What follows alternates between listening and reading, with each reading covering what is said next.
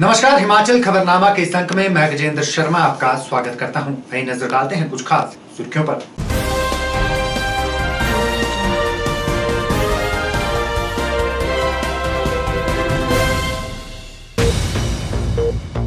Covid fund के लिए कर्मचारियों को एक से दो दिन का वेतन काटेगी प्रदेश सरकार।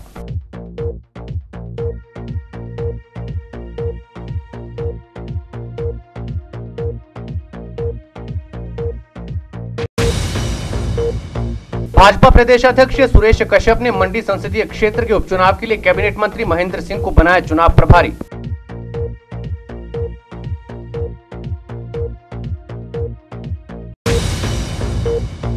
प्रदेश में कोरोना संक्रमितों का आंकड़ा 9000 के पार। कैबिनेट मंत्री विक्रम सिंह ठाकुर भी हुए कोरोना पॉजिटिव।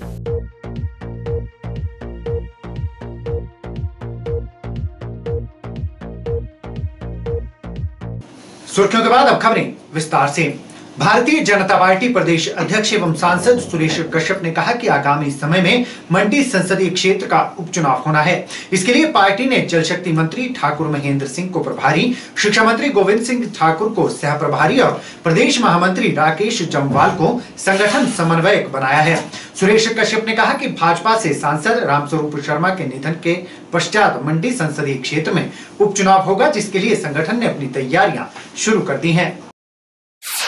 पिछले दिनों मंडी क्षेत्र के हमारे माननीय सांसद श्री रामस्वरूप शर्मा जी के दुखद देहावसान के बाद भारतीय जनता पार्टी ने मंडी उपचुनाव को लेकर कार्य करना प्रारंभ कर दिया है और उसी के दृष्टिगत भारतीय जनता पार्टी ने श्री महेंद्र सिंह ठाकुर जी, जो कि प्रदेश में सिंचाई, जन स्वास्थ्य, बागवानी मंत्री हैं, उनको प्रभारी बनाया है। इसके साथ साथ प्रदेश शिक्षा मंत्री श्री गोविंद सिंह ठाकुर जी, उनको सह प्रभारी की ज़िम्मेदारी सौंपी गई है। और सुंदरनगर के हमारे विधायक और मंडी संसदीय क्षेत्र के प्रभारी श्री राकेश जमवाल जी, जो कि संवैनक के रूप में कार्य करेंगे। और इस दृष्टि से सरकार और संगठन दोनों मिलकर आने वाले चुनाव को, जो भी उसके लिए करने की आवश्यकता होगी, इसको करेंगे। सीट भारतीय जनता पार्टी के पास थी, उसको आगे भी भारतीय जनता पार्टी जीतेगी। उसके लिए पूरे ज़ोर के साथ भारतीय जनता पार्टी कार्य कर रही है और उसी के दृष्टिगत हमने जिम्मेदारियाँ सौंपी हैं। इसके बाद आने वाले समय में और आवश्यकता होगी, उसमें उस हिसाब से लोगों को लगाया जाएगा और इस चुनाव को जीतना हमारी प्राथमिकता है बारिशें कम होने के कारण गत वर्ष के मुकाबले इस वर्ष आगजनी की घटनाओं में बढ़ोतरी दर्ज की गई है। मौसम की बेरुखी के चलते हर वर्ष 15 अप्रैल से शुरू होने वाले फायर सीज़न को इस बार 1 अप्रैल से ही घोषित कर दिया गया था।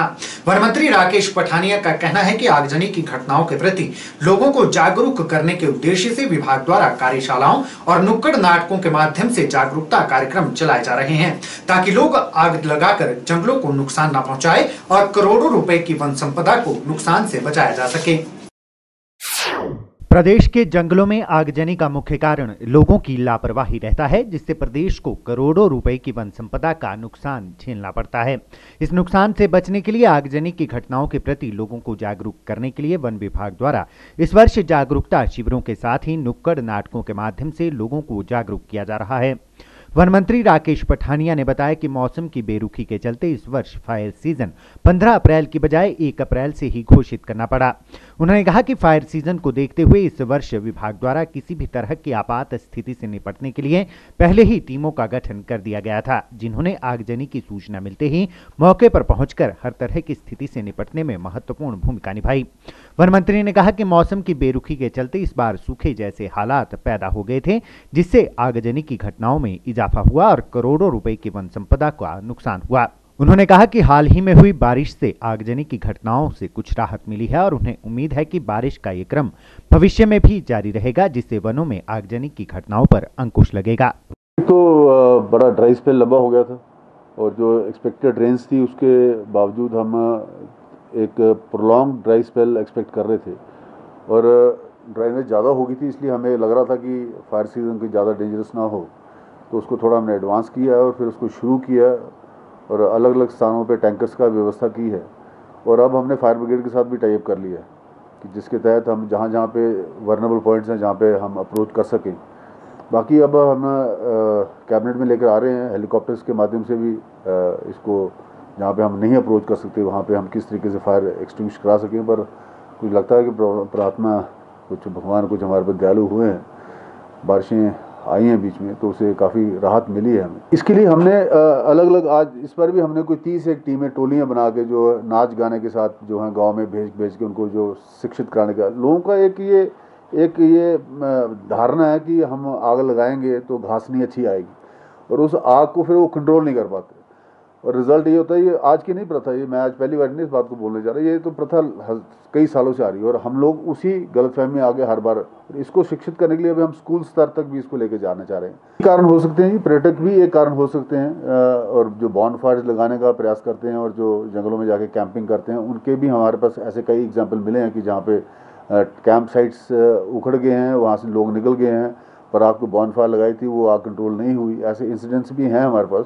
पर उसमें उसकी ज़्यादा गिनती नहीं अमूमन जो है ये आग हम खुद लगाते प्रदेश में कोरोना का कहर लगातार जारी है। कोरोना पॉजिटिव मामले व मौत का आंकड़ा थमने का नाम नहीं ले रहा है। सरकार ने कई नई बंदिशें भी लगाई हैं, बावजूद इसके लोग लापरवाही बरत रहे हैं। इसी के चलते जिला प्रशासन ने उपायुक्त आदित्य नेगी की अगुवाई में शिमला के पुराने बस स्टैंड के आसपास बसों की चेकिंग करने के साथ ही दुकानों में भी छापेमारी की।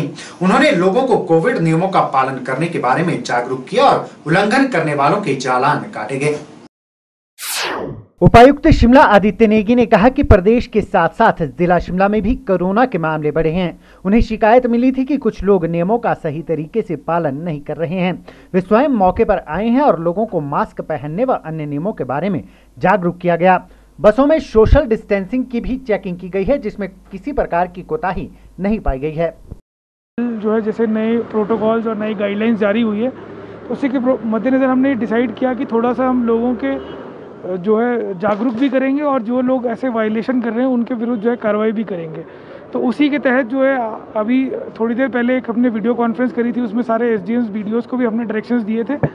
और उसी के तहत हम लोग भी खुद यहाँ पे आए मौके पे, क्योंकि ऐसी कई शिकायतें आ रही थी कि हमारा जो पुराना बस स्टैंड है और एक नया बस स्टैंड है, इसके जो लोकल बस स्टैंड है, इसके बीच में और यहाँ पे भी जो है लोग जो है वायलेशन काफ़ी कर रहे हैं। और मान नहीं रहे हैं। तो उसी को जो है हम चेक करने के लिए आज यहाँ पे आए यहाँ पे। तो मेरे साथ जो है एडीसी साहब एडीएम मैडम और एसडीएम जो है आए। या एसएचओ हमने सदर थाने से भी बुलाए हैं और आई भी बुलाए। और जैसा कि आप लोगों ने देखा है कि हम जो जो भी लोग वायलेशन कर रहे हैं उनके विरुद्ध जो है हम नियम अनुसार कार्रवाई कर रहे हैं। जहाँ तक बसों की बात है तो कल गवर्नमेंट ने जो आदेश जारी किए जिसमें 50 परसेंट कैपेसिटी से बस चलाने के आदेश हुए तो वो भी एक उद्देश्य था हमारा चेक करने का कि जो है, ये चेक किया जाए कि बसेस जो है एज़ पर गवर्नमेंट गाइडलाइंस चलाई जा रही हैं कि नहीं। तो अभी जैसे हम बस स्टैंड में गए तो वहाँ पे हमें बसें तो ऑलमोस्ट खाली मिली हैं। पर अभी हम लोकल बस स्टैंड की तरफ़ जा रहे हैं, वहाँ पे क्योंकि ये शिकायतें आती हैं जनरली कि लोकल बसेस में जो है, वो जनता जो है फिफ्टी परसेंट से ज़्यादा होती है। तो अभी वो भी हम चेक कर रहे हैं और ये हमने सभी एस को भी डायरेक्शन दिए हुए हैं कि बसेज़ वगैरह को भी जो है प्रॉपरली चेक करें।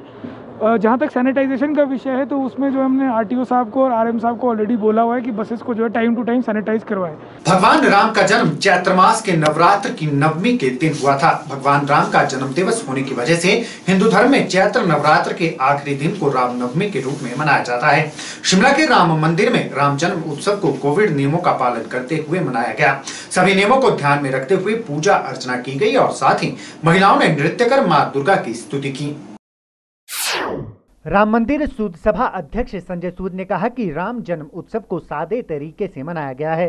राम मंदिर में कीर्तन का आयोजन किया गया। मंदिर में आए सभी लोग कोविड नियमों का पालन कर रहे हैं।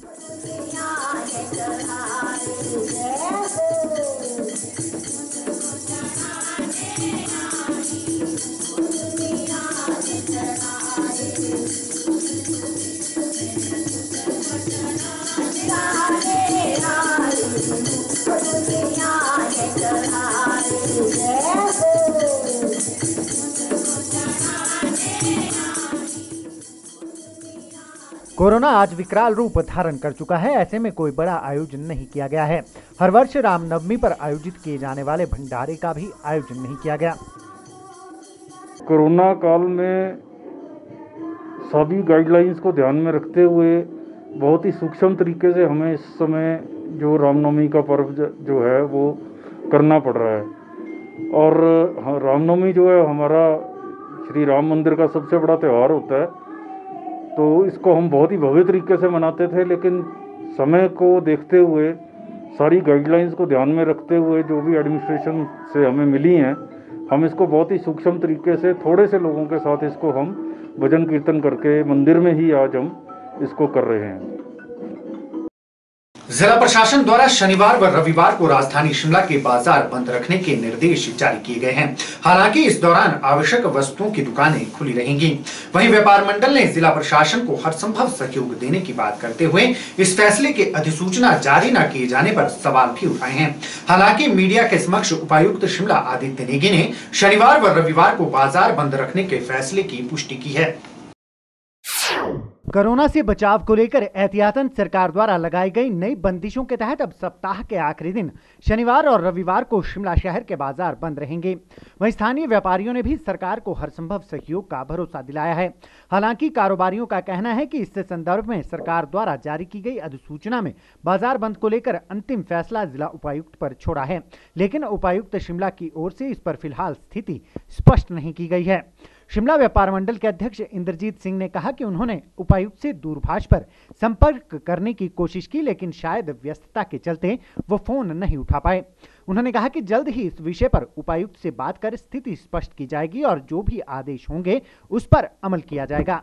जब ये सरकार ने नोटिफिकेशन किया है, मुझे काफ़ी मेरे व्यापारी भाई बार बार फ़ोन कर रहे हैं, चाहे वो हमारे होटलियर्स हैं या हमारे छोटे ढाबे वाले हैं, सब सब संपर्क साध रहे हैं, लेकिन हमारे पास अभी क्योंकि उस नोटिफिकेशन में फाइनली ये लिखा गया है कि जो फाइनल निर्णय होगा, वो डीसी महोदय का होगा डीएम का होगा। तो हमने अभी उनसे किया, शायद वो मीटिंग में होंगे, हमने अभी उनसे कॉल की तो वो हमारे रिप्लाई नहीं कर पाए। तो अभी हम दोबारा उनसे एक बात करेंगे, क्योंकि अभी आज बुधवार का दिन हमें पास एक दो दिन का समय और है। अगर जो भी निर्णय होगा, हम सरकार के साथ हैं प्रोवाइडेड सरकार भी व्यापारियों के लिए ज़रूर सोचे। वहीं उपायुक्त शिमला आदित्य नेगी ने कहा कि कोविड के चलते शनिवार व रविवार को सभी दुकानें व बाज़ार बंद रखने का निर्णय लिया गया है। इसके लिए अधिसूचना जारी कर दी गई है। इन दो दिन केवल आवश्यक वस्तुओं की दुकानें ही खुली रखने की अनुमति होगी। शनिवार और रविवार को सारे बाज़ार बंद रहेंगे एक्सेप्ट जो एसेंशियल आइटम्स में डील कर रहे हैं, जैसे जो ये ग्रोसरीज है या केमिस्ट हैं और ढाबे और रेस्टोरेंट को छोड़ और होटल्स को छोड़ के बाकी सारी दुकानें शनिवार और रविवार को बंद रहेंगी। अगर केसेस में कोई कमी नहीं आती और उसमें ऐसा प्रतीत होता है कि बाज़ारों का उसमें बहुत बड़ा योगदान है तो डेफिनेटली जो है टाइमिंग्स पे भी रिस्ट्रिक्शन लगाई जा सकती है। स्वास्थ्य एवं परिवार कल्याण विभाग, हिमाचल प्रदेश, कोरोना की दूसरी लहर से निपटने के लिए पूरी तरह तैयार है। Health service director doctor Bharat Bhushan Katoch ने बताया कि विभाग पहले से ही कोरोना की स्थिति को लेकर गंभीर है। उन्होंने बताया कि कोरोना से निपटने के लिए प्रदेश भर में तीस केंद्र बनाए गए हैं ताकि कोरोना मरीजों को किसी तरह की परेशानियों का सामना न करना पड़े। Health service director doctor Bharat Bhushan Katoch ने बताया कि कोरोना से गंभीर मरीजों के लिए ऑक्सीजन आईसीयू बेड व वेंटिलेटर की आवश्यकता होती है, जिनके लिए विभाग द्वारा चार अस्पतालों, जोनल अस्पताल शिमला डीडीयू सुंदर नगर हॉस्पिटल, जोनल अस्पताल धर्मशाला व मेकशिफ्ट अस्पताल टांडा में कोरोना से गंभीर स्थिति के मरीजों के इलाज के लिए अधिसूचित किया गया है। उन्होंने बताया कि जिन मरीजों को ऑक्सीजन व चिकित्सीय सहायता की आवश्यकता होती है, उन मरीजों के लिए बारह डेडिकेटेड कोविड अस्पताल व स्वास्थ्य केंद्र अधिसूचित किए गए हैं।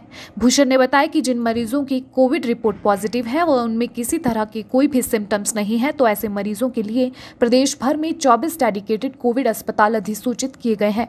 डॉक्टर भारत भूषण कटोच ने बताया कि वर्तमान समय में प्रदेश भर में doctor, ICU beds, oxygen PP kit, mask, gloves, pulse oximeter व दवाइयाँ पर्याप्त मात्रा में उपलब्ध हैं। व किसी को भी कोरोना से घबराने की आवश्यकता नहीं है। हिमाचल प्रदेश में स्वास्थ्य विभाग में किसी भी स्तर पे किसी भी तरह की कोई कमी नहीं है, डॉक्टर की कोई कमी नहीं है, जो आईसीयू बेड है उसकी कोई कमी नहीं है। जहाँ तक बेड्स की बात है, मेक शिफ्ट हॉस्पिटल इसके लिए बनाए गए हैं। जैसे ज़िला सोलन में मेक शिफ्ट हॉस्पिटल नालागढ़ में ये बनाया गया है, जहाँ पे बिस्तरों की, अतिरिक्त बिस्तरों की व्यवस्था की गई है। और ज़िला ऊना में पालकवा में इसी तरह का मेक शिफ्ट हॉस्पिटल बनाया गया है। और इसी प्रकार से आईजीएमसी शिमला में, और आपका राजेंद्र प्रसाद मेडिकल कॉलेज टांडा में मेक शिफ्ट हॉस्पिटल बनाए गए हैं।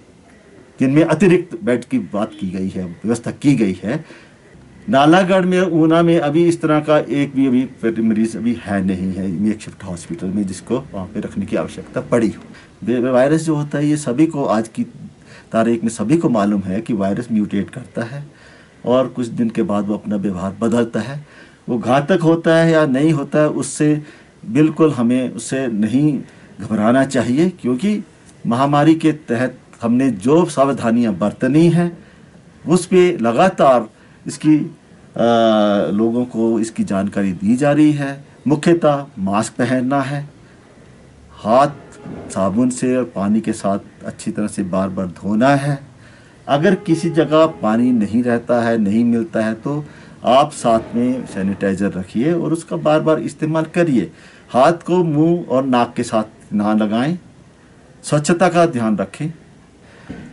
और जहाँ भी ये अधिसूचना हमने कर रखी है, विभिन्न स्तर पे स्वास्थ्य डेडिकेटेड कोविड केयर हॉस्पिटल्स की या केयर हेल्थ सेंटर्स की या केयर सेंटर्स की, इनमें हर जगह पे नोडल अधिकारी नियुक्त किया गया है और उसके साथ ही साथ वो सीएमओ के साथ तालमेल बनाए हुए हैं।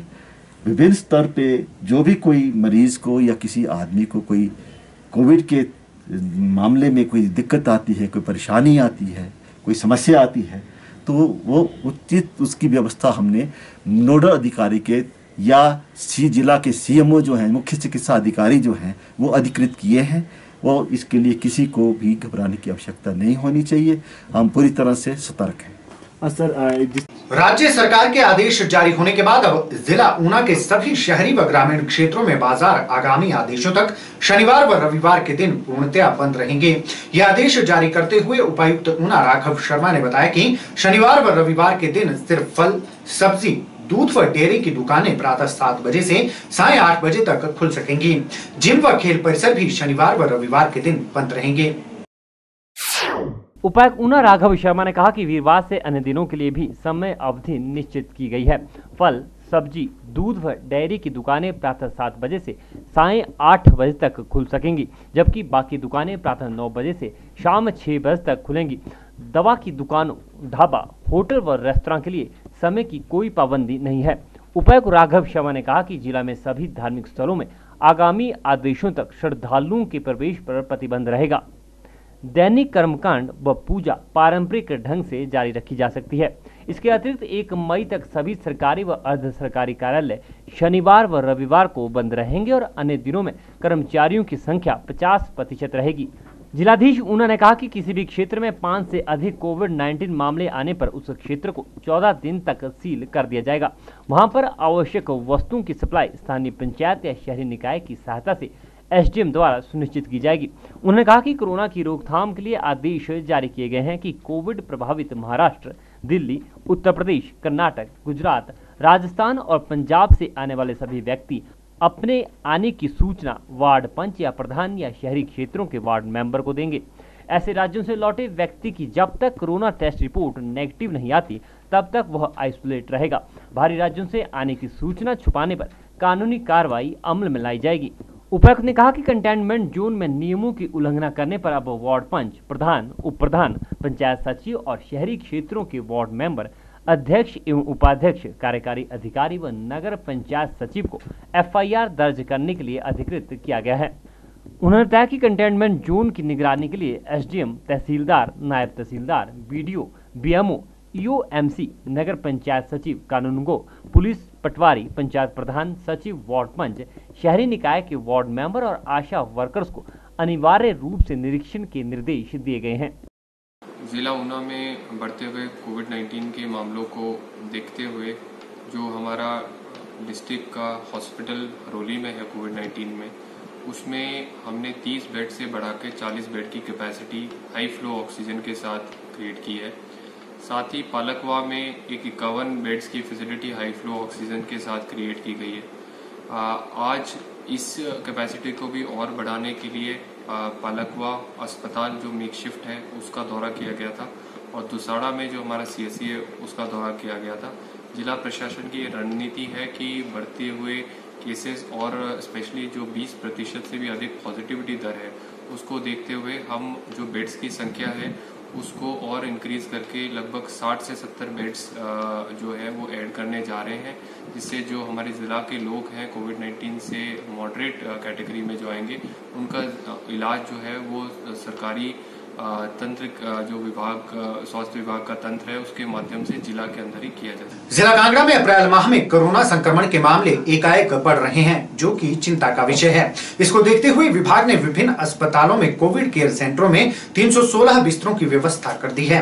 सीएमओ जिला कांगड़ा डॉक्टर गुरदर्शन गुप्ता ने धर्मशाला में मीडिया से रूबरू होते हुए कहा की कोरोना महामारी से निपटने के लिए स्वास्थ्य विभाग ने तैयारियाँ पूरी कर ली है।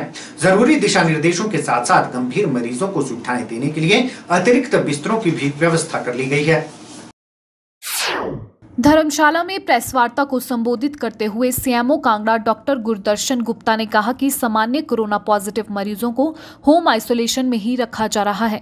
अस्पतालों में केवल कोरोना के साथ अन्य बीमारियों से ग्रसित लोगों को ही रखा जा रहा है या जिन्हें सांस लेने में परेशानी हो रही है। उन्होंने बताया कि जिला में चल रहे वैक्सीनेशन के तहत अभी तक कांगड़ा में दो लाख अट्ठावन हज़ार पचासी लोगों को कोरोना का टीका लग चुका है। इसमें front line worker, health worker, वरिष्ठ नागरिक व पैंतालीस वर्ष से अधिक आयु के लोग शामिल हैं। उन्होंने कहा कि अनुमानित जिला में 45 वर्ष से अधिक आयु के लोगों की संख्या करीब चार लाख की है और कांगड़ा में अभी तक ढाई लाख लोगों को टीका लग चुका है। मिल्टी हॉस्पिटल में यूल में और पालमपुर में लगभग पचास बिस्तरों की व्यवस्था है। जो रिसेंटली पिछले दो तीन हफ़्ते से कोरोना के नंबर्स में अचानक बढ़ोतरी हुई है और अनफॉर्चुनेटली पहले 19 दिनों में ही अप्रैल में हमारे पास तीन हज़ार से ज़्यादा कन्फर्म केसेस आ चुके हैं। सतावन से ज़्यादा मौतें हो चुकी हैं। ये एक चिंताजनक विषय है। तो ये सिर्फ़ सिर्फ़ विभाग, प्रशासन या सरकार की जिम्मेवारी नहीं है कि वो उसको इंश्योर करे कॉपरेट हर एक नागरिक से मैं आह्वान करना चाहूँगा कि अपनी सेफ्टी के लिए, अपने परिवार की सेफ्टी के लिए, जो बेसिक इस महामारी से लड़ने के नियम है टेस्टिंग ट्रेसिंग एंड ट्रीटमेंट उसके साथ साथ कोविड अप्रोप्रिएट वेपर जब भी आप समाज में जाएँ पब्लिक स्पेस पे जाएँ मास्क का उचित प्रयोग करें हाथों की सफ़ाई का ध्यान रखें भीड़ भाड़ क्षेत्र वाले से, से जाने से बचें और दो गज की दूरी। ये अपनाएँ साथ में जिनको वैक्सीनेशन लगनी है वो स्वेच्छा से वैक्सीनेशन प्रक्रिया में शामिल हों और जहाँ तक हो सके सेल्फ इम्पोज अपने ऊपर एक अनुशासन की पालना करते हुए जहाँ तक अनअवॉइडेबल ना हो अवॉइड पब्लिक स्पेसेस जब तक ये एक्सटेंट ऑफ़ इन्फेक्शन इतना ज़्यादा लगभग हमारे पास उन, आज की डेट में 1900 से ज़्यादा लोग जो हैं एक्टिव हैं जिला में। 270 से ज़्यादा मौतें हुई हैं। 1900 में से 1820 लोग जो हैं वो होम आइसोलेशन में हैं। कुछ लोग जो हैं कोविड केयर फैसिलिटीज़ में हैं। इस वक्त हालाँकि स्ट्रेस्ड है लिमिट पर we are manage the situation situation is under control और अगर अप्रत्याशित वृद्धि ना हुई तो हमारा प्रशासन और विभाग इस सिचुएशन को भी संभालने के लिए सक्षम है। ऑक्सीजन और वेंटिलेटर की क्या स्थिति है? पर्याप्त मात्रा में उपलब्ध हैं। अभी तक मेरे जिला में किसी भी रोगी को ऑक्सीजन या वेंटिलेटर्स की वजह से कोई प्रॉब्लम नहीं हुई और हमने इस ढंग से प्लान किया है कि आने वाले समय में भी ऐसी नहीं महिलाओं के प्रति अपराध को रोकने के लिए पुलिस प्रशासन सख्ती से काम कर रहा है। महिला अपराध का मामला आने पर तुरंत मौके पर पहुँचना और महिलाओं को इंसाफ दिलाना पुलिस प्रशासन का पहला मकसद है। महिलाओं की सुरक्षा को देखते हुए वीरांगना ऑन व्हील्स योजना के तहत मुख्यमंत्री जयराम ठाकुर ने प्रदेश के महिला पुलिस थानों को टू व्हीलर, एक बुलेरो और एक बुलेट देने की घोषणा की थी। जिसके तहत हमीरपुर स्थित महिला पुलिस थाना को छह दोपहिया वाहन, बोलेरो गाड़ी और एक बुलेट प्रदान की गई है। एसपी हमीरपुर कार्तिकेन गोकुल चंद्रन का कहना है कि मुख्यमंत्री जयराम ठाकुर ने महिलाओं की सुरक्षा के लिए छह टू व्हीलर और एक बलैरो और एक बुलेट देने की घोषणा की थी, जो कि हमीरपुर पुलिस लाइन में पहुँच गई है।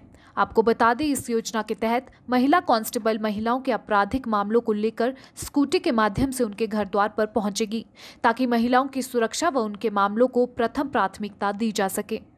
महिला सुरक्षा के लिए, जैसे आप सब जानते हैं, हमारे सीएम साहब ने लॉन्च किया था। ये हमारे डीजीपी साहब का इनिशिएटिव था। तो ये जो स्कूटीज़ हैं हम अलग अलग यूनिट्स में हम बांटेंगे थानों में बांटेंगे और इससे जो भी हमें शिकायतें आती है पिटिशन डिस्पोजल होता है एफआईआर के जो काम होते हैं इन्वेस्टिगेशन का काम होता है उनमें हम इसका इस्तेमाल करें अभी उसका निर्णय लेना है जहाँ पर वैकेंसी है उस हिसाब से हम इसको प्लान करेंगे कहाँ भेजना है। और सर, कितनी स्कूटियाँ ही हैं यहाँ पे? अभी छः स्कूटियाँ हैं और एक बाइक भी मिला है और एक बोलेरो भी नया वाला आया है।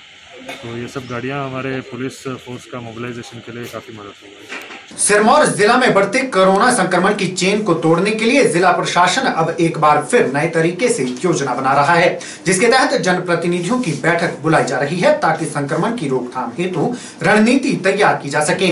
दरअसल अब शहरी क्षेत्रों के साथ साथ ग्रामीण क्षेत्रों में भी संक्रमण तेज़ी से फैल रहा है। कोरोना संक्रमितों की देखभाल के लिए गठित मेडिकल टीम में अब जनप्रतिनिधियों को भी शामिल किया जाएगा। जिला प्रशासन के अनुसार इसी सप्ताह जिला के जनप्रतिनिधियों की बैठक बुलाई जा रही है। सिरमौर जिला में बढ़ते कोरोना संक्रमण की चेन को तोड़ने के लिए जिला प्रशासन अब एक बार फिर नए तरीके से योजना बना रहा है। डीसी सिरमौर डॉक्टर आर के पूर्थी ने कहा कि जिला में जो लोग होम आइसोलेट हैं, उनके लिए स्वास्थ्य विभाग ने मेडिकल टीम बनाई है। लेकिन इसमें जितने भी जिला के जनप्रतिनिधि हैं, उन्हें इसमें शामिल किया जाएगा, ताकि वह भी अपने पंचायतों में कोरोना से संबंधित मामलों पर नज़र रख पाए। डीसी ने बताया कि इसके लिए जिला के जितने जिला परिषद, बीडीसी, नगर परिषद, नगर पंचायत व पंचायत के जनप्रतिनिधि हैं, उनके साथ सप्ताह भर में एक बैठक आयोजित की जाएगी।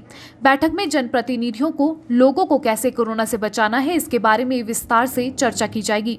डीसी ने बताया कि एक सप्ताह पहले जिला की दो पंचायतों में से 211 पंचायतें ऐसी थी, जहाँ पर एक भी कोविड का मामला नहीं था।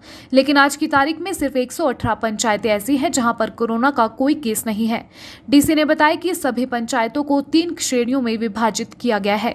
तेरह पंचायतें ऐसी हैं जहाँ पर पाँच से अधिक मामले हैं। यहाँ पर जनप्रतिनिधियों सहित सभी को अधिक तवज्जो देने की ज़रूरत है। इन सभी की ड्यूटी दोबारा से उन क्षेत्रों में लगाई जाएगी जहाँ पर एक से चार तक कोरोना के मामले हैं, ताकि संक्रमण को आगे बढ़ने से रोका जा सके। बता दें, सिरमौर जिला में पिछले 20 दिनों में ही एक हज़ार से अधिक कोरोना संक्रमण के मामले सामने आ चुके हैं। शहरी क्षेत्रों के साथ साथ अब ग्रामीण क्षेत्रों में भी कोरोना काफ़ी अधिक बढ़ रहा है। ऐसे में जिला प्रशासन अब नई रणनीति के साथ संक्रमण की चेन को तोड़ने के प्रयास में जुटा है। जो हमारे लोग होम आइसोलेशन में हैं। हालाँकि उनके लिए हेल्थ विभाग ने मेडिकल टीम बनाई हुई है। लेकिन उसमें हम जितने हमारे जनप्रतिनिधि हैं, उनको एसोसिएट करेंगे ताकि वो भी अपनी पंचायतों में उन केसेस को मोनिटर कर पाएँ कि जो व्यक्ति पॉजिटिव आया है, उसकी कंटैक्ट ट्रेसिंग प्रॉपर हो। वो जो होम आइसोलेशन में व्यक्ति रह रहा है, उसकी पूरी देख रेख हो। खासकर ऐसे व्यक्ति जो कोमोर्बिड हैं, जिनको और भी बीमारियाँ हैं।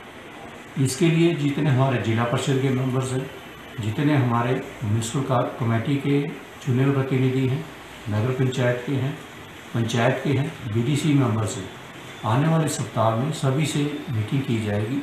उनको कोरोना के बारे में दोबारा से आईसी कैसे करनी है, लोगों से, लोगों को कोरोना से कैसे बचाना है, इसके बारे में विस्तार से चर्चा की जाएगी। एक हफ़्ता पहले हमारी दो सौ उनसठ में से 211 पंचायतें ऐसी थी जहाँ पे एक भी कोविड केस नहीं था। लेकिन आज की तारीख में सिर्फ़ 189 पंचायतें हैं जहाँ पे कोरोना का कोई केस नहीं है। सभी पंचायतों को हमने तीन कैटेगरी में विभाजित किया है हाइपर सेंसिटिव सेंसिटिव और नॉर्मल जो हाइपर सेंसिटिव पंचायतें हैं, ऐसी पंचायतें जिसमें पाँच से ज़्यादा केसेज हैं। कोई तेरह पंचायतें ऐसी हैं जिसमें पाँच से ज़्यादा केसेज हैं। यहाँ पे हमें ज़्यादा तवज्जो देने की ज़रूरत है, जितने हमारे जनप्रतिनिधि हैं, जितने हमारे फ़ील्ड के ऑप्शंस हैं, चाहे पंचायत के रोज़गार सेवक हैं, फैक्ट्रीज हैं, या हमारे रेलवे विभाग के पटवारी हैं इन सभी की हम ड्यूटी दोबारा से लगाएँगे, जो हमारी सेंसिटिव पंचायतें हैं, जहाँ पे एक से चार केसेज हैं। ताकि जो जिस पंचायत में जो केस आया है, कोरोना वायरस को हम वहीं पे लिमिट कर पाएँ, आगे ना बढ़े, जो पॉजिटिव व्यक्ति है, आगे संक्रमित ना कर पाए, ऐसा जनप्रतिनिधियों के साथ मिलकर जितने हमारे ग्राउंड लेवल के ऑप्शन हैं दोबारा से री एनफोर्स करेंगे जो भी कोविड का प्रोटोकॉल है। नगर निगम शिमला टाउन हॉल में सिटी म्यूज़ियम और हाई एंड कैफ़े खोलने पर विचार कर रहा है, जिसके लिए टेंडर प्रक्रिया भी शुरू हो चुकी है। नगर निगम के आयुक्त आशीष कोहली ने बताया कि टाउन हॉल के एटीक में सिटी म्यूज़ियम बनाया जाएगा, जिसके लिए एक संस्था से बात भी हो चुकी है और संस्था ने इसका निरीक्षण भी कर लिया है। वही हाई एंड कैफ़े धरातल मंजिल में बनाने की योजना है। स्मार्ट सिटी प्रोजेक्ट के तहत नगर निगम शिमला शहर भर में भिन्न भिन्न जगहों पर विकासात्मक कार्य करवा रहा है। इसी प्रोजेक्ट के तहत अब नगर निगम शिमला ऐतिहासिक टाउन हॉल में सिटी म्यूज़ियम और हाई एंड कैफ़े खोलने को लेकर योजना बना रहा है। नगर निगम शिमला के आयुक्त आशीष कोहली ने बताया कि इसकी टेंडर प्रक्रिया शुरू हो चुकी है। उन्होंने कहा कि निगम ग्राउंड फ्लोर में हाई एंड कैफ़े और एटिक में सिटी म्यूज़ियम बनाने का प्रयास कर रहा है, जिसके लिए एक संस्था से बात भी हो चुकी है और जल्द ही इस योजना को अमली जामा पहना दिया जाएगा।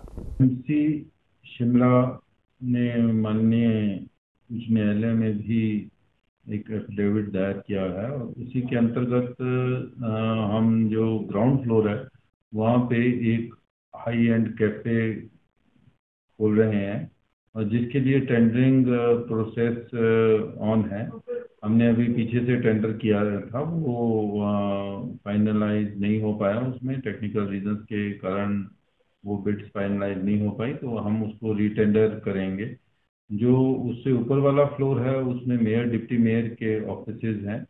और जो टॉप फ्लोर है हमारा, उसमें सिटी म्यूज़ियम खोलना है एक हमने।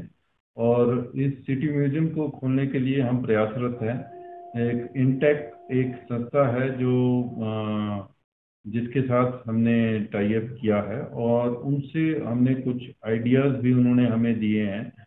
और उनकी एक दिल्ली से अभी टीम आई थी जिन्होंने उस सिटी म्यूज़ियम को बनाने के लिए एटिक में है ये इस बिल्डिंग की। उस एटिक का निरीक्षण भी किया है और हमें कुछ आइडियाज़ भी उन्होंने दिए हैं। उनकी प्रिलिमिनरी रिपोर्ट अभी आने वाली है और उस प्रिलिमिनरी रिपोर्ट को पर चर्चा की जाएगी, उसे हाउस में भी रखा जाएगा। और हम स्मार्ट सिटी के अंतर्गत एक काफ़ी अच्छा म्यूज़ियम यहाँ पे जिसमें कि लाइट एंड साउंड शो जो लेटेस्ट टेक्निक्स हैं उस हिसाब से बनाने के लिए प्रयासरत कोरोना महामारी के बढ़ते प्रकोप को देखते हुए प्रदेश सरकार द्वारा नवरात्रों के दौरान मंदिरों में हवन पूजन के आयोजन के साथ ही प्रसाद चढ़ाने को लेकर बंदिशें लगा दी गई थी, जिसका खामियाजा मंदिरों के बाहर प्रसाद व मंदिरों में चढ़ने वाला सामान बेचकर अपना व अपने परिवार का गुजर बसर करने वाले दहबाजारियों को चुकाना पड़ रहा है। इनका कहना है की उधार पर पैसे लेकर इन्होंने सारा सामान खरीदा था। उन्हें उम्मीद थी की नवरात्रों के चलते उनकी अच्छी बिक्री होगी और वे अपना कर्ज उतार देंगे, लेकिन सरकार द्वारा लगाई गई बंदिश आदेशों के बाद मंदिरों में ना के बराबर श्रद्धालु आ रहे हैं, जिसके कारण उनका सामान नहीं बिक पाया। मंदिरों में माता रानी को चढ़ने वाला प्रसाद व अन्य सामान बेचकर अपना व अपने परिवार का गुजर बसर कर रहे तहबाजारियों का कारोबार इस वर्ष कोरोना की भेंट चढ़ गया है। तहबाजारियों का कहना है कि वे पिछले एक वर्ष से आर्थिक मंदी के दौर से गुजर रहे हैं। यहाँ तक कि बच्चों के स्कूल की फ़ीस देना भी मुश्किल हो गया है। मजबूरन उन्हें कर्ज लेकर दुकान के लिए सामान खरीदना पड़ा। तहबाजारियों का कहना है कि उन्हें नवरात्रों में अच्छा कारोबार होने की उम्मीद थी। लेकिन सरकार ने नवरात्रों के दौरान मंदिरों में कई तरह की बंदिशें लगा दी, जिससे उनकी सारी उम्मीदों पर पानी फिर गया। प्रसाद विक्रेताओं का कहना है कि कोरोना महामारी के इस दौर में उनका सारा कारोबार चौपट हो गया है, लेकिन प्रदेश सरकार की तरफ़ से उनकी मदद के लिए एक बार भी नहीं सोचा गया। उन्होंने कहा कि वे कर्ज के बोझ तले दबते जा रहे हैं, ऐसे में सरकार को उनकी मदद के लिए हाथ बढ़ाना चाहिए। अब तो कोई उम्मीद नहीं जी। अब इतना सामान ले आए हुए हाँ जी कर्जा ठा ठा के सामान ले आए ब्याज पे अपने पैसे पकड़े, बैंक से उठाए। हाँ जी, हमारा तो बुरा हाल है। बच्चे कैसे पालेंगे? बुके प्यासे बच्चे बैठे। कोई सेल नहीं हो रही, कुछ नहीं हो रहा। एक साल हो गए, बंद हुए को। अभी थोड़ा सा चला था, तभी बंद कर दिया जी। अब क्या करना, बताओ? सरकार को हमारे बारे में सोचनी चाहिए। गुजारा क्या हाँ बस गुजारा कर्जे ले लेके ही कर रहे हैं। अब यहाँ तो सेल नहीं हो रही, यहाँ तो कोई भी नहीं प्रसाद ले रहा। मंदिर में चढ़ ही नहीं रहा, कोई भी प्रसाद, कुछ भी नहीं चढ़ रहा मंदिर में। प्रसाद तो लेके कुछ भी नहीं जा रहा मंदिर में। थोड़ा हमारे बारे में सरकार को सोचना चाहिए। इस बार तो पूरा उम्मीद था कि नवरात्रि में काम चलेगा, लेकिन एंड मौके पर आके मना करके कि प्रसाद वगैरह कुछ भी नहीं चलेगा। जैसे पहले था मंदिर में बाहर से दर्शन करना, बस ऐसे ही। इस बार तो बहुत ही ज़्यादा समस्या हो गई। स्कूल का, बच्चों का फ़ीस भी नहीं दे पाएँगे, ना कुछ। पिछली बार भी ऐसे ही हुआ। बच्चों का फ़ीस देना भी मुश्किल हो गया। अब घर का खर्चा चलाना भी बहुत मुश्किल हो गया। अब तो यहाँ पे रोज का सौ दो सौ रुपया भी सेल होना बहुत मुश्किल है उम्मीद सी भाजी वो भी ਖਤਮ ਹੋ ਗਏ ਕਿਆ ਕਰਨਾ ਗਰੀਬ ਆਦਮੀ ਨੇ ਕੈਸੇ ਆਪਣਾ ਘਰ ਚਲਾਣਾ ਜ਼ਿਆਦਾ ਸਾਨੂੰ ਪਹਿਲੇ ਬਤਾ ਦਿੱਤੇ ਨਾ ਅਸੀਂ ਇਹ ਇਤਨਾ ਸਮਾਨ ਇਕੱਠਾ ਨਾ ਕਰਦੇ अब तो ज़्यादा ही कर्जे हेठा आ गए कोई आए नहीं रहा बंद कर दिया करके कौन आएगा सबको पता सब लोग पढ़े लिखे आ बच्चे बूढ़े सब गांव शहरों के सबको इस बात का ज्ञान है भाई ਹਾਂ ਇਸ ਵਾਰ ਉਮੀਦ ਸੀ ਸਾਡੇ ਤਾਂ ਇਹ ਤੀਸਰੇ ਨਰਾਤੇ ਜਿਹੜੇ ਨਹੀਂ ਲੱਗੇ ਬਿਲਕੁਲ ਅਸੀਂ ਹਾਂ ਅਸੀਂ ਸਾਰੇ ਮਾਰਕੀਟ ਵਾਲੇ पूरे प्रसाद वाले कर्जे हेठ आ गए कहाँ से देना उल्टा उसी रात मेरे पति को अटैक आ गया मंगलवार दी रात ਨੂੰ पहले नराते पैरालाइज हो गया और बड़ा मुश्किल है लाइफ चलाना ही बड़ा मुश्किल हो गया पिछला साल तो हमारा बर्बाद हो ही गया है अ, अब उम्मीद थी कि जब मंदिर खुलेगा हमने थोड़ा उधार सामान भी लेके डाला लेकिन बिल्कुल विपरीत ही हो गया है कुछ भी नहीं है, माल जैसे पड़ा था वैसे ही रह गया। अब अगर हमारा छल्ला अंगूठी ये छोटा मोटा सामान कोई लोग घर को ले जाते हैं, इसी से गुजारा हो रहा, नहीं तो बहुत मुश्किल है। अब आने दिनों में दिनों में बोले कि लॉकडाउन प्रॉपर लग जाएगा, फिर तो और भी मुश्किल हो जाएगी। सरकार से क्या उम्मीद कर सरकार ने पिछले पिछले साल कुछ नहीं बेनिफिट नहीं दिया, अब क्या क्या उम्मीद कर सके सरकार से? कुछ उम्मीद नहीं है हमारे को सरकार से। कोरोना संक्रमण के बढ़ते मामलों के बीच जिला प्रशासन ने प्रदेश के जिला कांगड़ा में रात आठ बजे से लेकर सुबह छह बजे तक नाइट कर्फ्यू लगा दिया है। शनिवार और रविवार को पूरा दिन ही कर्फ्यू रहेगा। हालाँकि इस बार पिछले लॉकडाउन की तरह ज़िले से बाहर जाने या प्रवेश के लिए किसी तरह के पास की ज़रूरत नहीं होगी।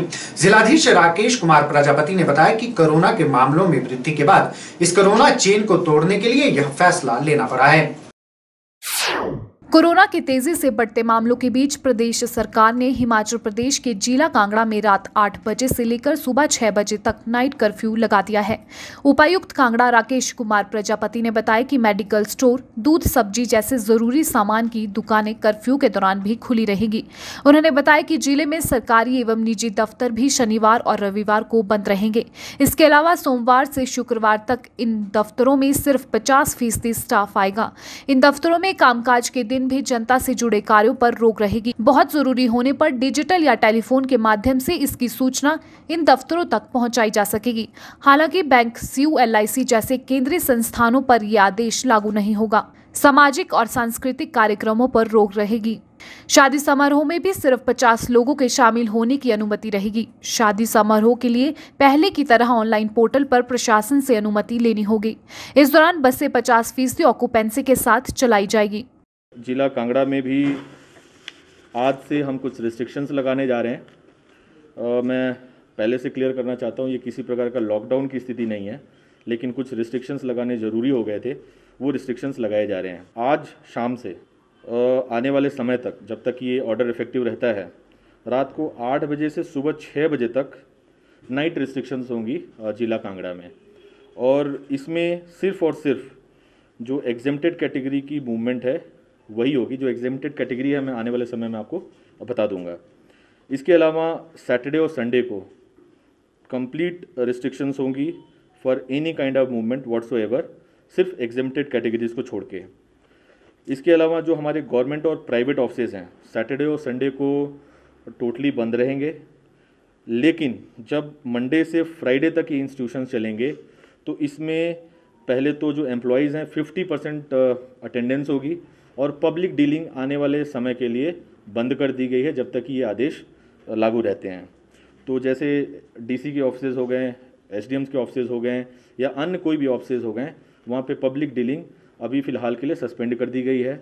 जिन लोगों को भी अपनी समस्याएँ हमारे ऑफ़िस तक पहुँचाने की ज़रूरत है, वो सारे के सारे लोग डिजिटल माध्यम से अपनी समस्या हमारे तक पहुँचाने की कोशिश करें या हमारे फ़ोन नंबर्स या हमारे कंट्रोल रूम के फ़ोन नंबर्स पे संपर्क करें। माइक्रो कंटेनमेंट जोन्स अगर पाँच से ज़्यादा जहाँ पे भी हैं उनको हम माइक्रो कंटेनमेंट जोन अब बनाने जा रहे हैं और काफ़ी रिस्ट्रिक्शंस के साथ ताकि फर्दर वहाँ से उस एरिया में स्प्रेड ना हो उसके लिए हम कोशिश करने जा रहे हैं। होम आइसोलेशन को और पुख्ता बनाने के लिए अ, हमारे जो सब डिविजनल स्तर पे कंट्रोल रूम्स हैं वो स्थापित किए गए हैं चौबीसों घंटा ये चल रहे हैं। जो कॉन्टैक्ट ट्रेसिंग का काम है वो अ, बहुत ढंग से चला हुआ है इस वक्त पूरे ज़िले कांगड़ा में और हमने ये डिसाइड किया है कि जो हाई लोड स्टेट्स हैं, जैसे महाराष्ट्र, उत्तर प्रदेश, दिल्ली, कर्नाटका, गुजरात, राजस्थान, पंजाब और कुंभ मेला और वृंदावन धाम से जो लोग वापस आए हैं, वो सात दिन तक अपने घरों में रहेंगे और सातवें दिन तक होम आइसोलेटेड रहेंगे और सातवें दिन के बाद कंपलसरी उनको आर टी टेस्ट करवाना होगा। इसके अलावा स्टेट गवर्नमेंट से जो आज आदेश आए हैं, इसमें जो हमारे टेम्पल्स हैं, उनको भी तेईस तारीख से फ़िलहाल के लिए पब्लिक लोगों के दर्शन के लिए बंद किए गए हैं। और जो मंदिरों में जो डेली रिचुअल्स होते हैं, जो पूजा होती है, वो उसी प्रकार से चल रही होगी, जैसे हम लॉकडाउन के स्टेज में जब हम, हमारे टेम्पल्स बंद हुए थे, उस वक्त हुई थी। तो जो लोगों की एंट्री है टेम्पल्स में, फ़िलहाल के लिए उस पर कुछ दिनों के लिए प्रतिबंध लगाया गया है। किसी भी प्रकार के पास परमिशन की ज़रूरत नहीं है। लोग सुचारू रूप से स्टेट्स के बाहर के ज़िले से बाहर के जहाँ से भी लोग आना चाहते हैं आ सकते हैं और जा सकते हैं। कंडीशन सिर्फ़ इतनी है कि जो लोग हाई लोड स्टेट से आ रहे हैं, उनको सात दिन होम आइसोलेशन में रहना पड़ेगा और उनको कंपलसरी अपना टेस्ट करवाना पड़ेगा। टूरिस्ट के आवागमन पे किसी भी प्रकार की कोई रोक नहीं है, किसी भी पास और परमिशन की ज़रूरत नहीं है। शादियों में सिर्फ़ इतना है कि ऑनलाइन हमारा जो पोर्टल है, उस पर लोग अप्लाई करेंगे। सुचारू रूप से लोगों को पचास लोगों का परमिशन मिल रहा है। लेकिन आने वाले समय में जो शादियों में भीड़ आ रही है और दिख रही है। उसके ऊपर जो हमारी चेकिंग है पुलिस के माध्यम से प्रशासन के माध्यम से और तेज़ी से आने वाले समय में की जाएगी। प्रदेश के विश्वविख्यात शक्तिपीठ श्री नैना देवी में नवरात्र मेले के दौरान किया गया ड्रोन कैमरे का ट्रायल सफल रहा। मेलों के दौरान भीड़ को नियंत्रित करने व औचक निरीक्षण के लिए ड्रोन की सहायता ली जाएगी। डीसी साहब की अध्यक्षता में तो ये डिसीज़न लिया गया था कि जो श्रद्धालुओं का भारी रश है, उसको देखने के लिए कंट्रोल करने के लिए ड्रोन की भी इस बार जो है हेल्प ली जाए। तो डीएसपी साहब ने इस बार एक विशेष प्रयोग करते हुए बाहर से एक टीम को हायर किया था। और जिस दिन हमारे अपना फ़र्स्ट नवरात्रे, अष्टमी या सप्तमी को, या संडे को जिस दिन भारी रश होता है, उस दिन जो है ड्रोन का प्रयोग जो सर्विलांस के लिए किया गया था। तो इसके काफ़ी जो है अच्छे परिणाम हमें प्राप्त हुए हैं। और इस निष्कर्ष पे हम लोग पहुँचे हैं कि ड्रोन का प्रयोग भविष्य में भी अन्य जो श्रावण अष्टमी मेले हैं या दूसरे जो जिस दिन ज़्यादा रश जो है मंदिर में रहता है, इसका प्रयोग जो है करना जो है उचित रहेगा और क्योंकि इससे एक सविलास भी हम प्रॉपर कर पाएँगे, एक निश्चित स्थान पर बैठ के। और श्रद्धालुओं को किस तरीके से फैसिलिटेट करना है, किस तरीके से उनको जो है लॉ एंड ऑर्डर सिचुएशन को मेंटेन करना है, इसके बारे में भी काफ़ी इनपुट जो है प्राप्त हो रहे हैं। तो एक अच्छा परिणाम इसके जो है साबित सामने आए हैं। भविष्य में भी इसका प्रयोग किया जा सकता है। शिमला शहर के लोगों को अब कूड़े और प्रॉपर्टी टैक्स के बिल जमा करवाने के लिए निगम कार्यालय के चक्कर नहीं काटने पड़ेंगे और जो लोग ऑनलाइन बिल जमा नहीं करवा सकते, उनको भी सुविधा मिलेगी। क्योंकि नगर निगम शिमला शहर के 28 लोक मित्र केंद्रों में लोगों को प्रॉपर्टी टैक्स और कूड़े के बिल जमा करवाने की सुविधा देने जा रहा है। निगम की माने तो एक सप्ताह के भीतर ये सुविधा शुरू कर दी जाएगी। नगर निगम शिमला प्रॉपर्टी टैक्स और कूड़े के बिल ऑनलाइन जमा करवाने की सुविधा तो शहर वासियों को पहले से ही दे रहा है ताकि बिल जमा करवाने के लिए निगम कार्यालय के चक्कर न काटने पड़े। लेकिन कुछ लोग ऑनलाइन बिल जमा नहीं करवा सकते, जिस कारण उन्हें निगम कार्यालय आना ही पड़ता है। अब नगर निगम एक नई पहल करने जा रहा है, जिसके चलते शहर के लोकमित्र केंद्रों में ही लोगों को प्रॉपर्टी टैक्स और कूड़े के बिल जमा करवाने की सुविधा मिलेगी। निगम आयुक्त आशीष कोहली ने बताया कि शहर में 28 लोकमित्र केंद्र हैं और इन केंद्रों में निगम की बात भी हो चुकी है। उन्होंने कहा कि एक सप्ताह के भीतर लोगों को लोकमित्र केंद्रों में प्रॉपर्टी टैक्स और कूड़े के बिल जमा करवाने की सुविधा मिलना शुरू हो जाएगी। जो हमारे प्रॉपर्टी टैक्स के बिल है या गार्बेज के बिल्स हैं वो ऑनलाइन तो सिटीजन जो है एमसी का वो डिपॉजिट करा ही सकता है, पर काफ़ी सिटीजन जो हैं, वो ऑनलाइन बिल जमा नहीं करा सकते हैं। तो उन्हें अगर ऑफलाइन मोड में बिल जमा कराना पड़े तो उन्हें एमसी शिमला के कार्यालय में ही आना पड़ता है। तो जैसे कि हमारा क्षेत्र काफ़ी फैला हुआ है, ढली टूटू से भी आम आदमी को एमसी शिमला के कार्यालय में ही आके बिल ये जमा कराने पड़ते थे। तो जनता की सुविधा के लिए हम प्रयास कर रहे हैं। हमने जो लोक मित्र केंद्र हैं वो पूरे एमसी में 28 हैं और वो, उनके साथ हमारी काफ़ी एडवांस स्टेज में बात है। Hopefully within a week वो फंक्शनल भी हो जाना चाहिए।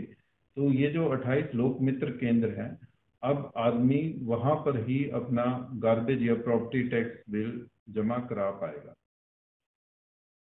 नूरपुर ब्लॉक की सुलियाली पंचायत में प्रशासन के दिशा निर्देशों की पालना करते हुए पंचायत प्रधान की अध्यक्षता में सुलियाली बाज़ार के सभी दुकानदारों की बैठक आयोजित की गई।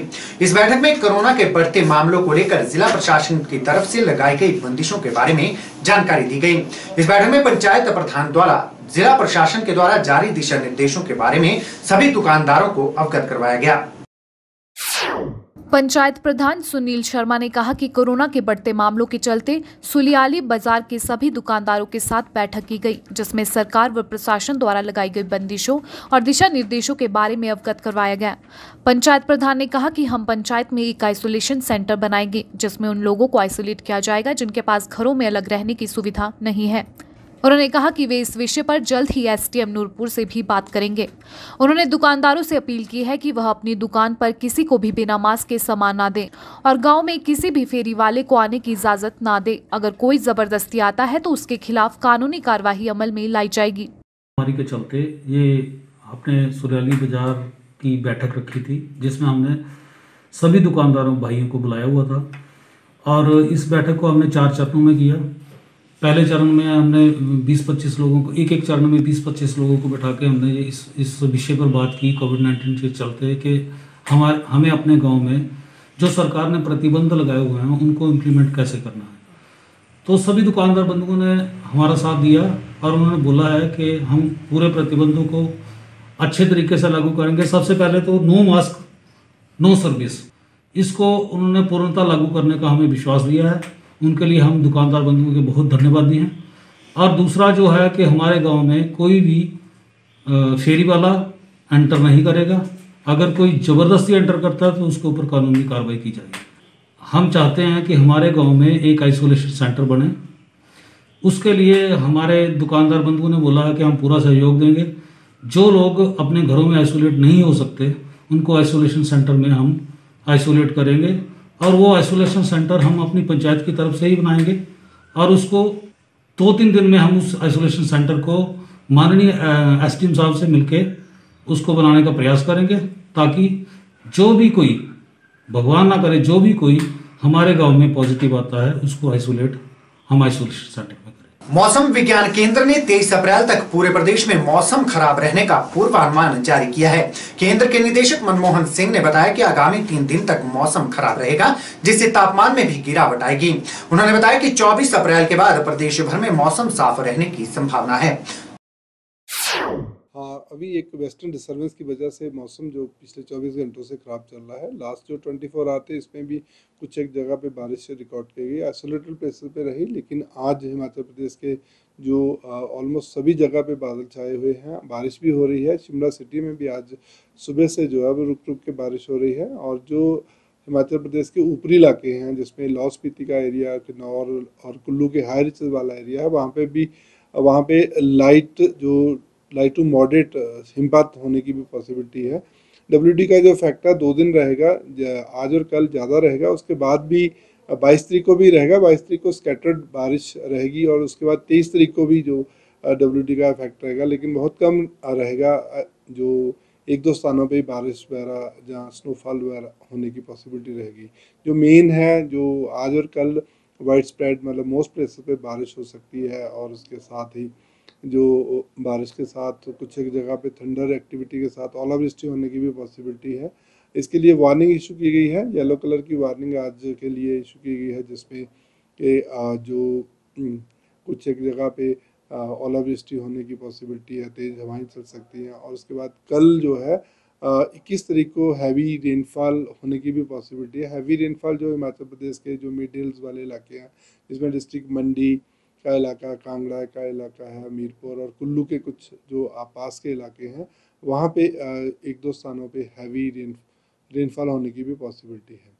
तो जो दिन के तापमान है, उसमें भी काफ़ी गिरावट रहेगी, क्योंकि जो जैसे बारिश होती है तो पहाड़ों में जो हिलीज एरिया होते हैं, उसमें जो दिन का तापमान है, उसमें काफ़ी गिरावट रहती है। तो पाँच से लेकर सात डिग्री तक तापमान जो है दिन के, वो ड्रॉप हो सकते हैं। अभी भी जो तापमान है, वो सामान्य से कम चल रहे हैं। सिरमौर जिला के दुर्गम क्षेत्र हरिपुर थार स्थित लाखों लोगों की आस्था के केंद्र माँ फंगियानी मंदिर में रामनवमी के दिन बड़ी संख्या में श्रद्धालु पहुँचे। नवरात्र के अंतिम दिन यहाँ आयोजित पाठ का भी विधिवत समापन हो गया। माता के मंदिर से लाखों लोगों की आस्था जुड़ी है। यहाँ न केवल हिमाचल प्रदेश, बल्कि बाहरी राज्यों से भी बड़ी संख्या में श्रद्धालु पहुँचते हैं। माता के दर्शनों के दौरान मंदिर में किसी तरह से संक्रमण फैलने का खतरा न रहे। इसके लिए माता भंग्याणी मंदिर प्रबंधन कमेटी द्वारा विशेष इंतज़ाम किए गए हैं। कमेटी के सचिव बलवीर ठाकुर ने बताया कि कोविड 19 प्रोटोकॉल के तहत ही नवरात्र के दौरान श्रद्धालु मंदिर में पहुँचे। उन्होंने बताया कि नवरात्र में यहाँ विशेष पाठ का आयोजन किया गया था, जिसका पूर्णाहुति के साथ ही समापन हो गया।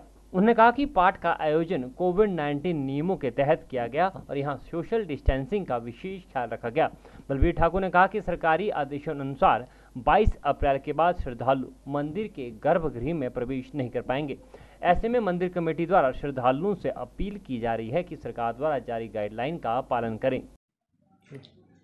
माता भंगाइनी का नवरात्रों का सारा कार्यक्रम जो था वो समाप्त हो गया है और आज के बाद हिमाचल सरकार ने जो गाइडलाइन कोरोना के उपलक्ष्य में हमें दी है, कल से हमारा जो मंदिर का कार्यक्रम है, वो अंदर गर्भजून में हमारे कोई दर्शन नहीं होंगे, मंदिर जाकर अंदर कोई दर्शन नहीं होंगे, बाहर ही हम दर्शन करवाएँगे और बाहर बाहर से ही श्रद्धालु आएँगे और बाहर बाहर से ही दर्शन करके चले जाएँगे। यहाँ पर रहने की कोई व्यवस्था नहीं की गई है, इसीलिए कि कोविड नाइन्टीन की वजह से ताकि महामारी ना फैले और जो भी दिशा निर्देश सरकार द्वारा दिए जा रहे हैं, मंदिरों को बंद करने के हम भी उसका पालन कर रहे हैं और हमारा निवेदन है सभी श्रद्धालुओं से कि जिस प्रकार से सरकार ने जो यहाँ पे एसओपी जारी की है या दिशा निर्देश जारी किए, उसके मुताबिक उसका पालन करें। मास्क लगा के सभी आए, सैनिटाइज करके आए, हाथ वगैरह धो के आए डिस्टेंसिंग, सोशल डिस्टेंस जो है, वो बना के रखें और विधिवत रूप से बाहर बाहर दर्शन करें और वापस घर चले जाएँ। रहने की और ठहरने की कोई व्यवस्था और खाने की व्यवस्था मंदिर में नहीं है, किसी प्रकार का भंडारा या धार्मिक कोई आयोजन जिसमें बहुत ज़्यादा आदमी होते हम नहीं करा रहे हैं। ये तक तब तक बंद रहेंगे जब तक अगले आदेश सरकार के नहीं होते।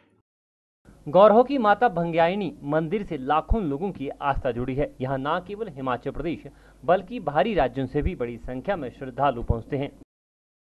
देश में लगातार बढ़ रहे कोरोना संक्रमण के मामलों को देखते हुए, जहाँ केंद्र सरकार द्वारा 1 मई से 18 साल से अधिक आयु के लोगों को भी कोरोना का टीका लगाने के आदेश जारी किए गए हैं तो वहीं स्वास्थ्य विभाग ने टीकाकरण को लेकर अपनी तैयारियाँ शुरू कर दी हैं।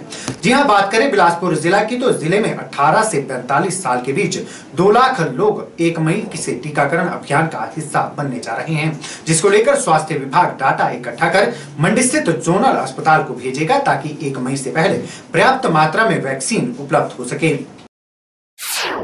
बिलासपुर जिला में टीकाकरण अभियान को बहुत सफलता मिल रही है, जिसके चलते स्वास्थ्य विभाग बिलासपुर ने 45 साल से अधिक आयु के 75 प्रतिशत लोगों को टीकाकरण अभियान से जोड़ दिया है, जबकि आगामी 10 दिनों में 25 प्रतिशत का टारगेट हासिल कर शत प्रतिशत टीकाकरण का लक्ष्य प्राप्त किया जाएगा। जिला स्वास्थ्य अधिकारी डॉक्टर परविंदर सिंह ने कहा कि 45 साल से अधिक आयु के एक लाख दस हज़ार लोगों को कोरोना का टीका लगाया जाना था।